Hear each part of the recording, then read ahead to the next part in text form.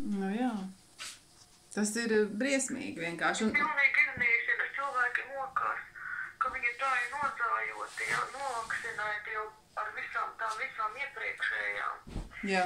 Un tad izkaisītās sklerozes un viss kaut kas, un autoimunās un kroniskās, un tad uh, visiem ir izpūstītas, izbradātas dzīves. Protams. Nu, tas ir ļoti viltīgi viss izdomāts.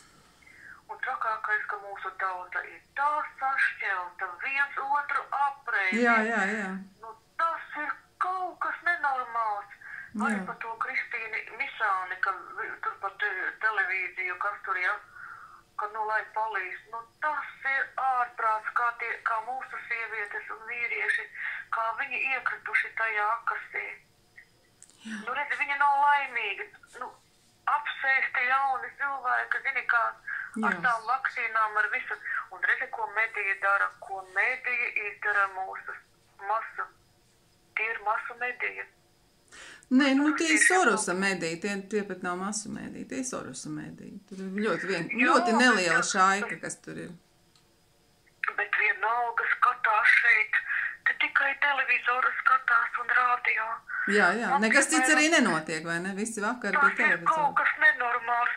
Tie visi cilvēki tā kā vienkārši, nu, nu, tur nevar teikt, ka tā tā nav normāla dzīve. Nē, nē, šī visa ir paranoidā šizofrēnija. Tā ir pilna, visi, visa sabiedrība ir iznīcināta un ir kļuvusi par paranoidās šizofrēnijas slimnīcu. Un tā ir nāves nometne. Tieši tā. Jā. Sakiet, lūdzu, bet jums, ja jūs pasakat, ka jūs nepotēsieties, jūs taču neaiztiek. Uh, nu, nē, ar varu to darīt. Es klausījos internetā par to, ka tur viss tā notiek. It kā sākumā brīvprātīgi, un pēc tam ar varu liekt ar grīdu un, un cietumā, un, un vi, viņiem jau viss ir paredzēts, jo man testus ar tad pietreiz ņēma, un, un tas ir pazemojoši iedomājies. Nu, kur tad Sakiet, vienam- lūdzu, kā jūs viņus tur degunā stūmat tos puļķus? Jā, jā, jā. Un dziļi, ja? Nu, un traumē tur tā visu, gan, gan degunā, gan rīklē, nu. Jā. Vienkārši viņa, kad traumē, viņa paņem to DNS.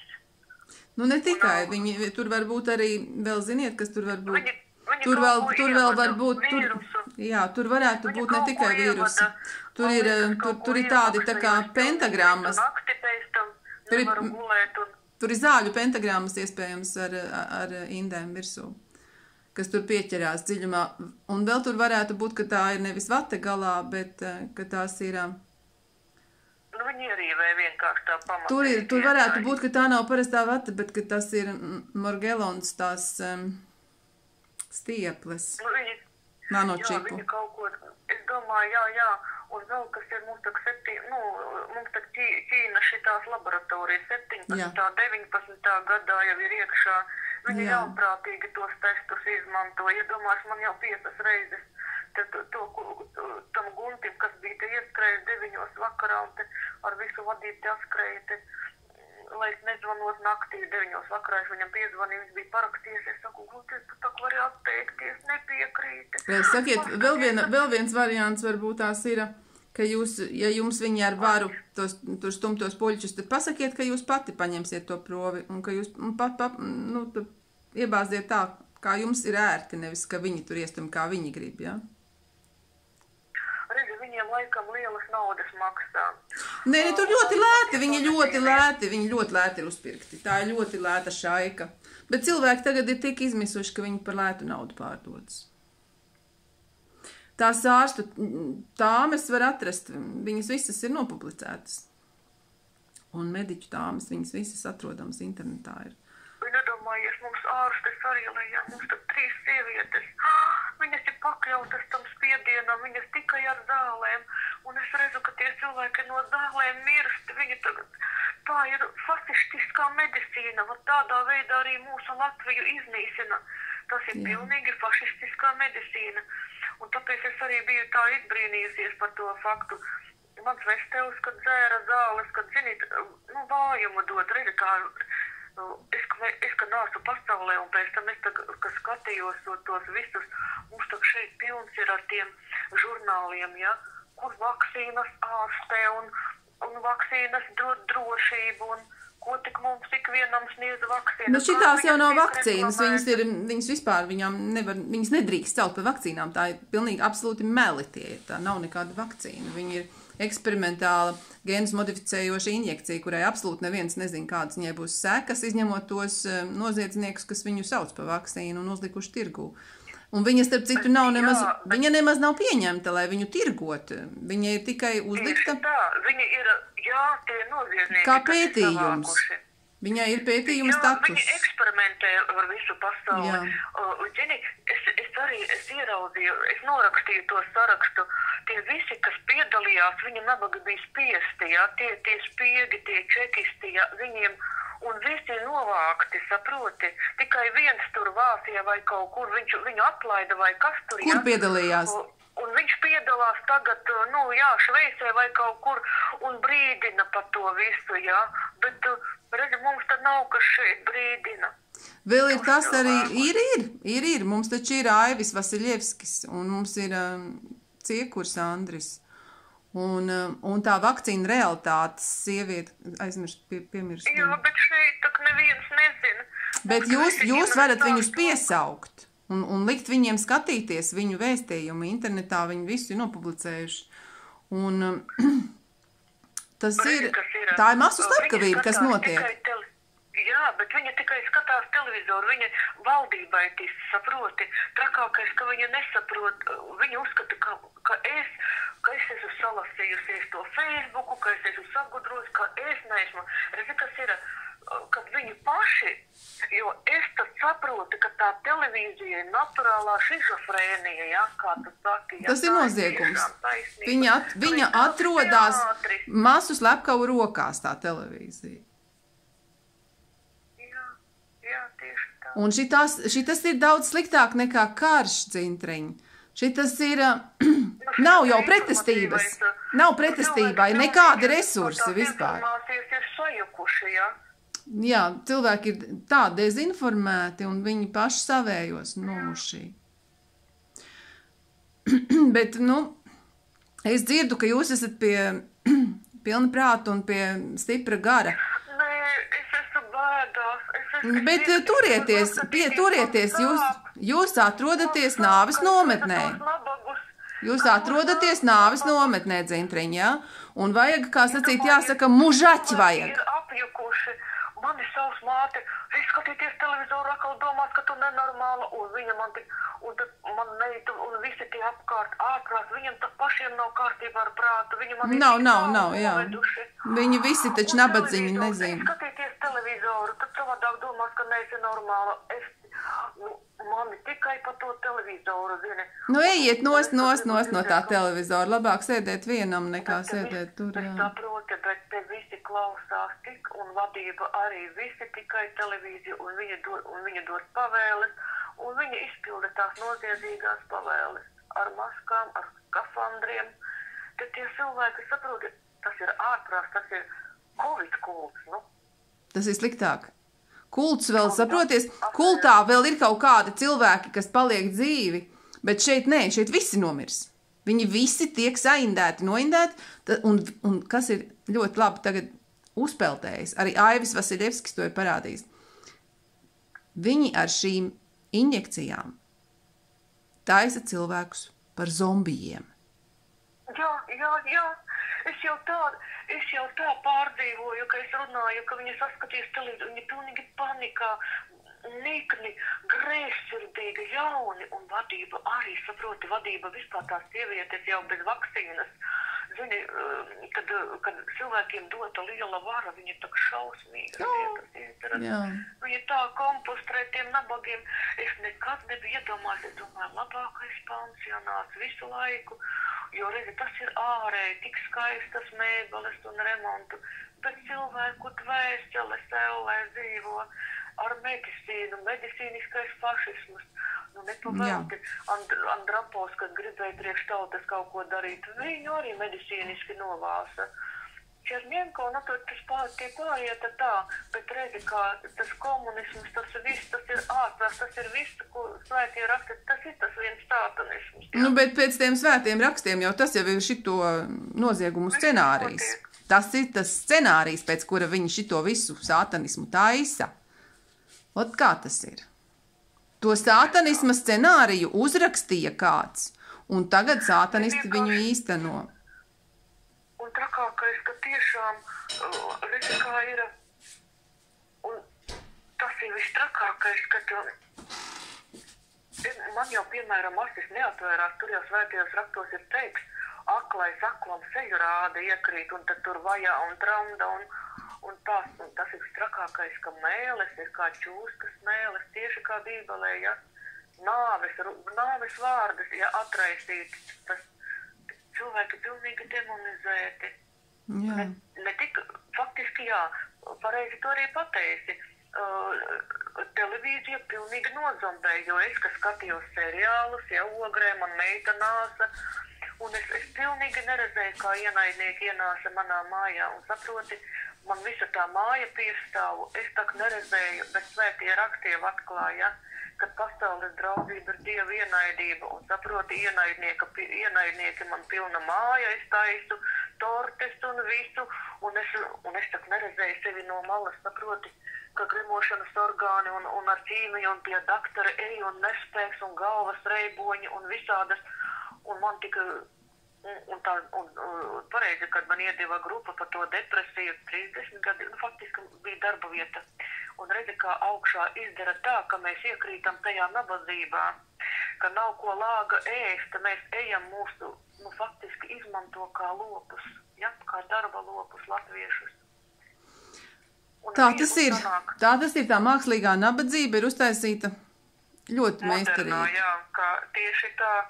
Un, uh, kad bija arī Kārlis Ulmanis, arī viņš bija diktators. Nu, redzi, kā cilvēki. Nu, diktators ir laba lieta, dzintriņ. Tirāns ir šausmīga lieta.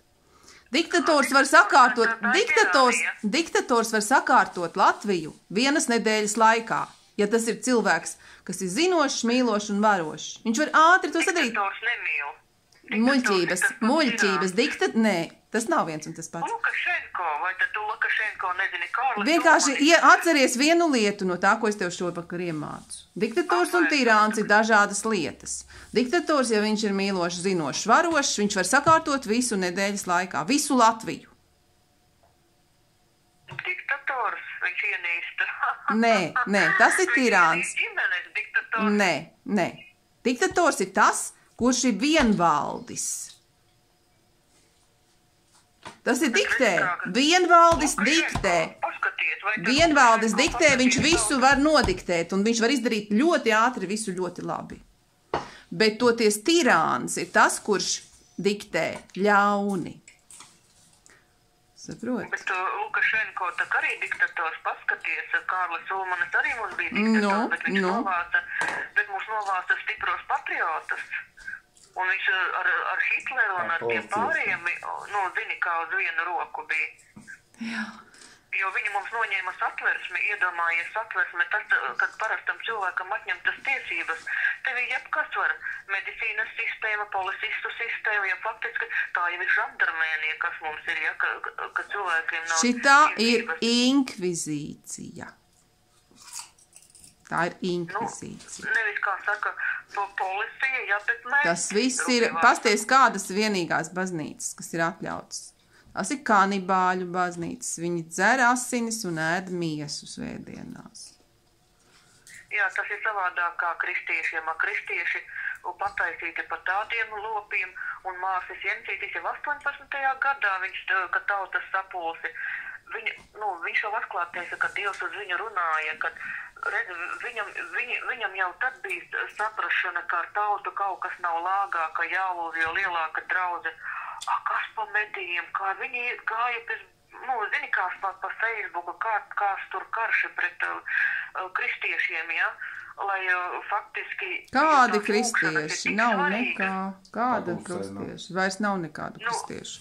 Visi viņi dzer asinis un ēd miesu svētdienās. Ne jau, ne jau kristieši. Kristieši ir pataisīti, paga krustneši ar kristietību uzzina, bet tu Jēzus vārdu izmanto.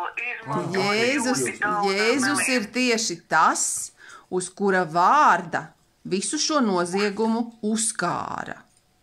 Tā ir, jezu, tas ir, tas ir jezuītu ordenis, tas ir jezuītu ordenis, kas šito jezuīti, šito visu jau fīrē 700 gadu. 700 gadu viņi visu uz Jēzus ir uzkāruši. Un, un visus, ko viņi aplaupa, viņi viņiem iedod bībeli un saka, skaties, tev viss vis būs. Un visu nozog. Visu nozog. Jā, jā. Un, zini, iedomājies, tas sanāk tā, ka mums ir uh, Levits tajā Soros iekšā, Laira Freiberga, iedomājies visi, ja? Nu, Tajā- Levits jau ir žīdu karaļu ie- ieliktenis. Kā tad? Nu? Leviti taču ir leviti, tie taču ir žīdu priesteri. Nu. Kariņš. Skaidrāk pat Kariņš pateikt ar nevar. Un kariņš tais, uztaisīja mums kariņu, nu. Negaidīto covid kariņu. Kakariņš. Nu, viss kakariņš. Kankariņš. Nu, bet viņi jau tikai visi leļuki, tur jau lielāki Nu, žuki sēž. Marionetes, jā, marionetes. Tas sanāca agrāk, bet nu es šos vairs laikam nesanāk laik. Nu. Tā kā šitie lielie žuki, kas tur sēž aizmugurē, tiem vārdus neviens nezina. Baidens izdarīja. Uh, Trumps bija četrus gadus, kā četrus gadus cīnījās pret Trumpu, par viņš tur ģimenēm, ja? cīnījās? Tāpat tās viņš bija. Normāli Tikai cirka cīnījās, nu. aktieris. Nu, Tāpat tās uzlika visur 5G, un tāpat tās visus paši cilvēki nošpricēt, nošpricēt un izdurstīt ar tiem puļķiem. nav. cilvēks tam, ditamā. Nu, Tu jau negribi klausīties. Zviedrijā, tu 19. gadā. Zintra, mums Zviedrijā vispār ir viss zirnekļu pūznis šeit. Šeit Zviedrijā taisni tie menševiki ir iekārtojuši savu vadīšanas centrālu Jā, visam, visam pasaules elektrības. Kaimiņienes Un drošības tur nav tīklam. Maskām tur pilnīgi, viņš saka, ka tur, ir daudz, tur nav tā kā Latvijā. Tas gan. Viņi pilnīgi kaut ko citu saka, ka tad ar viņiem tur tas nenotiek, ka šeit Latvijā kā trako durdomā. Tas gan nav tik drausmīgi. Tas ir jā, tiesa. viņi tur Bet tu saproties, ka šeit jau nevajag, viņiem šeit nevajag nevienu apspiest, jo tie zviedri nostājas rindā pēc tās potes. Jā! Tieši kā viņiem mocīt viņas zem maskām, ja viņi rindās stāv. Saproti? Kā piekrāp un māna. Jā. Nu, tai, bet redzi, kā Krievijai skatījos, ja, kā tie ģimenes ārsti, kas bija pret tām vakcīnām, kā gāja virsū tiem un, un filmēja, ja. Jā. Un saproti, redzi, Krievijā vismaz kā ārsti, vismaz, vismaz atvēr astis tiem cilvēkiem nabaga paglābt tos, paglābt nabaga cilvēkus, jo redzi, tie cilvēki, kuri tiek iesaistīti, viņi ie, iebēdēti, pakļauti, nopirsti. Mums, tie, mums piemēram, viņi ir Nu, tā tu nebūsi izmācīti. no tiem cilvēkiem Jā, viņi izmācīja mūsu faktiski ar medicīnu, nu, medicīniskais fašisms, iedomājies, es arī, ka Jānis Kuķis uh, eju, O, nu, jā, nu, nu, es tikai vienu epizodi nosaukšu, gāju pie ķirurgam, es, ka pa pavāru strādāju, uh, es, uh, man visu strādniece, kā to katlu parāva, ja, man um, īšķim, nu, tas ir, ka tur, kur zautnesis, nu, tas pirksts, ja, Jā. uh, saspieda to pirkstu ar, ar to lielo katlu, nu, 50 kg, kur tie lielie. Jā. Un, un man pēc tam viņš sāka pamst, rutot, aizgāju, un viņi man norāva nagu vienreiz. Jā. Eju, pēc tam eju, ik pēc trim dienām jāiet uz pārstiešanu, tur tāda Birkenberga zītars ir, ja. Ārprās, viņi ne, man ne jau izmērsēs, nu tā Birken, nu, es domāju, tie ārsti, patiesībā, viņi tā ir tādi spīdinātāji un saka, Tāpat arī medicīniskā izglītība, un tā sistēmas izglītība, kas ko- komunismu laikā. Tagad nekāda, nu, ka- kas tad tur izglītību taisa, viņi tā kā bērnu debilizē. Jā. Kas, kas tad mums tur vada to Latviju, un ka, kas tie tie skolotāji? Nu, sistēmā pakļauti. Ver, vergu un idiotu taisītāji. Nu, jā, vergs vai lops, nu, tas, tas gandrīz tas pats ir, jā, ar lopu var darīt, ko tu gribi ar vergu to pašu. Pateicu, faktiski. Nu, kas tad tev ar to pirkstu galu galā sanāca? Ah, jā, es, es gal, gāju un galvenais pusgadu mani marinēja. Es vienkārši tur redzu cilvēku stāv rindām. es nespēju vienkārši izturēt arī to, ja kā, kā tieku, ja man neļauj izmērcēt, man neļauj kā norāja, man viss jāuztur, visi nervu gali, kā naga vieta, ka naks norauts, tur viss pilnīgi tāda visa nervu sistēma, tas šoks, tās nenormālās stāpes, kad atrāja to marli, tad viss šķīri, zini.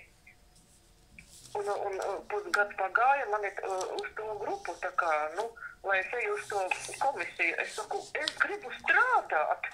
Un 20 gadīgam skuķim, ja man jāiet uz grupu kaut kāda, nu, kur nosaka tur, nu, pusgads noslimot it kā, ja. Nu, tagad uh, nu, man jāiet, lai, nu, ko viņa tagad izlems, iedomājies, man tas pirksts no, nolaist līdz bezgalējībai, ja. Un es nē, nē, un tad viņš man pasaka tā, lai nākošā dienā būtu uz stacionāru griežam nos, nav ko tur vairs, ja. Ak, Dievs. Un, un, un tāpēc es saku, un, un tajā momentā, tajā izmisumā, labi, ka man tur viena pazīstama bija, bet tagad viņa arī pansionātā ir. Redzi, ko nozīmē Bībelē teiks par, tiem, par to jauno koku, ja, par to čūsku, par, jo viņa arī tika nodota, un viņas mamma arī doktori bija poliklīnikā. Jā. Un faktiski, viss jau sākas arī ģimenē tikai tāpēc, ka, redzi, sistēma valdība, nu, faktiski viss tas tiek, nu, jā, tie tumšie spēki, jā. Ir, ir, ir, jā, ir vēlams un dievs varas, kā ir, kaut nevaram to sačamdīt, ja nevienu ne otru, kā ir. Tas ir drausmas, kā, kā tās asis man ir akos bijušas, un kad viņas apvairās, tās ir šausmas, ka tu sāc redzēt, Nu, un kas tad tev to pirkstu galu galā notika? nu, viņa mani parāda uz Rīgu, uz Stradiņiem, pie cita ķirurga. Nu, es iespēros tādā momentā, protams, nesmukā momentā, kur tur sieviete tupus, ja pie tā ķirurga, nu, es sapratu, ka tur, zin kā, un, un, tā man, un, redzi, kā cilvēki tik daudz nokāpo tieši. Pagaid, nu tev tas pirksts ir vai nav tagad? Nē, nu man ir pirks, jā. Bet, nu, es, kad, jā, kad uh, viņa mani aizveda, tur viņš tika ar to sievieti galā, un, un es iespēros vienkārši nelaikā. Un, Tas taču nav svarīgi. Stāsti, kas notika ar un pēc pirkstu. tam, jā, un pēc tam iedomājos, pēc visa šitā, ko es tur redzu, viņš tā normāli ar mani apējas, normāli sakarīgi runā, pārbauda, pa, noņem, uzsmērē, nu, notīriet pa priekšu, uzsmērē. Nu, te, pa, nu, viņš tā pateica, nu, a, a, kas te, kas tu tā pa smērē? Es saku, nezinu. Nu, viņš saka, nu, ne šito, bet šito, citu kaut ko vajag iztīrīja, ja? Kā man ogre bruka, iztūkais aizvras, tik viņi bija nikni. Iedomājies, labāk man būtu pirkstu nogriezt nekā saglabāt. Bet es nemaz nebrīnos. Labāk man nogriezt kājas, galvu, visu var nogriezt. Klausies, un vēl par to dusmojās, iedomājies, ka tu aizbrauc pie cita. Redzi, ko nozīmē bija viena ģimenes stāsta. Un šeit arī mums, mums paši viņi izvēlās ģimenes stāstu. A mums slaktē tas vienīgais stāsts, mums nevar to salīdzināt, mums nav kur. Tas ir unikāli, cik tie ārsti ir atšķirīgi. Jā, jā, tas ir fakts. Tur ir Nu, kā diena un nakts, tur ir jāstaigā, kamēr atrod savējo. Nu, redzi, man, nav, man nebija gadījies vairs saskārties ar citiem, jo redzi, mums pielika ogrē pie citas ģimenes ārstes un tā šausmīgi izsmēja man to.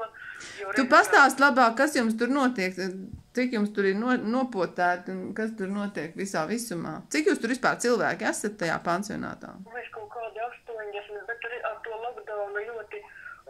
Mēs te bijām faktiski drausmas, mēs tādā panikā mums pie galda pa divi metri un ne tā tirānija, tas viss tas tās šausmas, ko tie cilvēki, mēs pilnīgi sastinguši, asins rīte, viss gremot, es nevarēju pat neko ieēst, iedomājies, uz veikalu nedrīkst, neko nedrīkst. A, cik, a, cik, cilvēki, cik cilvēki gribēja, lai viņus uh, potē?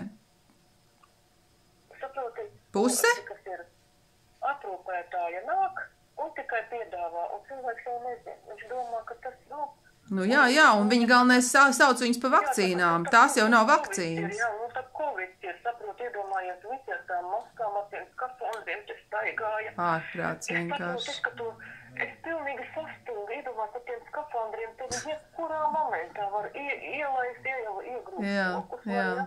Ka jā. ienāk no malas, tev var grūst pa visiem kaktiem, ar tevi dara, ko grib.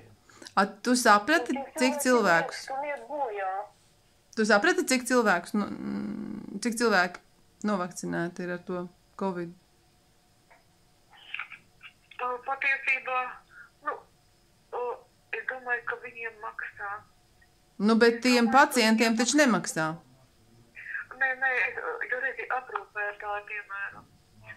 Redzi aprūpētāji, piemēram, ja, kas pie mums nāk, viņa saka, tu potēsies, redzi, es viņu redzu, un, un kad ar tiem testiem nāca, man tā kā pilnīgi ar varu, es esmu salasījusies, man uztaisa pa nenormālo, ka es esmu nenormāli, saprotiet, neviens manī neklausās. Jā. Un es brīdinu, un visi, un es pilnīgi panikā saprotu. Ne, nu, panikā nevajag būt. Viņus iznīcina, es nespēju to noskatīties, ka mani taisa pa nenormālo, mani faktiski grib apkustināt, mani paši tur Mm, grib uz ne tikai uz cietumiem, ko viņi ar mani, jā, kas tas viss tiek. Nu, galvenais, tu nekad nekrīti panikā. Tu mierīgi visu. Kāda, kādā, nu, kā tas ir maz teikts. Tev jāsaprot, ka tu atrodies nāves nometnē. Ekstrēmos, ekstrēmā laikā, ekstrēmos apstākļos, ja? ekstrēmā vietā. Tas ir sliktāk nekā konslāgeris. Konslāgerī, ja, bija atbrīv... tur bija atbrīvotāji. A šeit nav. Vispār nekur nav neviens apmaksāts, lai atbrīvotu cilvēkus no šitās slepkavības, masu slepkavības. Jā, kā viens otru, ja, aiz, aiz nezināšanas. Un saproti tā augstprātība, iedomība, zin kā muļķis. Jā, jā. ne? Un viņi visi apmaksāti. Viņi visiem ir pateikts, viņiem, ka viņi taču ir medicīnas darbinieki, kas var būt labāks. valdībā. Viņi nopirka ielikti, jā, un šeit tas pats augšā hierarhija notiek. Tā ir tā, nu tas ir tas pats sātanisms, vai ne? Cilvēku cilvēku pakļaut. Tā ir tumsas valstība, tas ir kaut kas unikāls. Jā, saulīt. Šitie ir vistumšākie laiki. Bet atceries, jā? Es saku, es nevienam nevaru palīdzēt no tā. vā- mā, ar māti runāju, māte, redzi, man... A, kā tev meitai? Kā tev meitai? Nu, redzi, es piedzimu ārlaulībā, man meita piedzima ārlaulībā, un es jau nesapratu, ka faktiski uh, svētos raktos ir skaidrs teiks, neuzēj jauna cilvēka seja, ja? Un es jau neredzēju, ka faktiski mēs tur kopmītnē visi zem nabadzības esam. Un tas tā arī notiek, ja? Jo, kur nabadzības cilvēks tevi pa maitas gabalu nodos, uzmetīs, ja, stuķīs. Jo tā ziņošana, stuķīšana, nu tas jau ir no visiem laikiem, ja. Nu kāda personīgā dzīve, es tak to neredzēju, kad Pagaid, tu man pasaki, kā tavai meitai iet. es, es nekontaktējos, saproti, jo uh, man viņu trīs sievietes faktiski, nu, jau darbā, ka es atceros, ka strādāju, bija tāda medmāsa, kas potēja pat tos bērnus kā tādus. Cik viņai gadu ir? Nu, 32. Viņa man liekas pat vecāka par Andri Čiekuru, bet nu redzi, ko nozīmē. Es nespēju viņu aizsargāt no tām sievietēm, jo viņas ir tik ļaunas atriebības. Nu, nu, bīstamas sievietes, tāpēc es saku. Viņai, var sakot, ir kaut kur citur, jā? Nu jā, viņas ir viņa varā. Viņas visas trīs, un mana mamma arī faktiski tajā. Jo tad, kad, uh, tad, kad uh, pirms pansionāta es tā arī pie doktoras gāju, un man, nu, viņa, tad tā kā devu analīzes, to, to vairogziedzi ir nodevis, un man no tiem nenormālās, nepārtrauktiem stresiem, man visi tie, nu, hormoni sagājuši, nu, tur, tur nenormālos, tur šiparos. Bet tas man no bērna kājas jau tas viss ir, tāpēc ir tas vājums un nespēks un, un aiz izmisuma, ko tu vari, ja tu klusē, klusē un visu laiku, ka šoka stāvoklis un aiz bēlēm. Bet, vārds sakot, tu vari vienmēr atsaukties uz manu lapu draugiem. Ja tev vajag konkrētus pierādījumus, ja, tam, ka notiek māsu slepkavība caur visu šito, tu vienkārši pasaki, lai viņi iet un skatās manu profilu draugiem.lv. Draugiem.lv ir Dita Rietuma.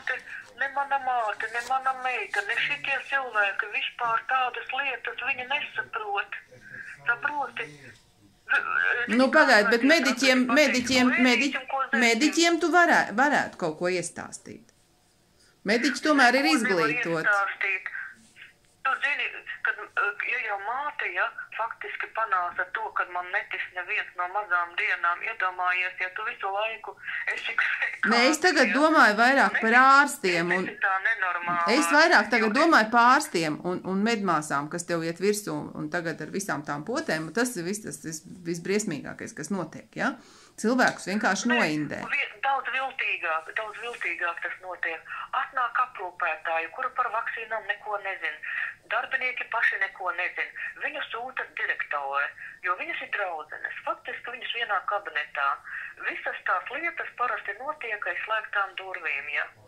Un šie cilvēki tikai res, cilvēku resursi, jo redzi, uh, svētajos raktos ir par to Jezebeli rakstīts. Ja? Tas ir tas kontrolējos, tie, tās sievietes ir faktiski ļoti atriebīgas, jaunas, taburs, nu tas ir praviešu slepkavas, rupji vārds sakot. Kā tu pareizi pateici par to, teiksim, uh, hierarhijā, kā viss tur, nu, tāpat arī, kā, teiksim, mums jau tā Freiberga nekad nestrādās, teiksim, šādā vietā, bet viss tas ir savstarpēji saistīts, visur tā hierarhija iet ar vien augstāk un augstāk. Hierarhija nav slikta lieta. Ja, vi, ja cilvēki atzītu, nē, nav, ja cilvēki atzītu mani par Latvijas prezidentu, un es visu varētu sakārtot vienas nedēļas laikā. Redzi, kas ir jābūt, uh, redzi, kas ir par jums, teiksim, es redzēju, ja, ja godīgi pateikšu, es visu dzīvi, zini, kā be, bezdievi, nu, internāta skolā es jau neredzēju, Bībelē saka par tiem bezdieviem, ja? Es nezināju, kas tas ir svētais gars. Es gaidu viņu tādu satiku ielas, ka es biju kādreiz viņu redzējis pie tādas taņas um, zimšanas dienā. Un viņa man saka,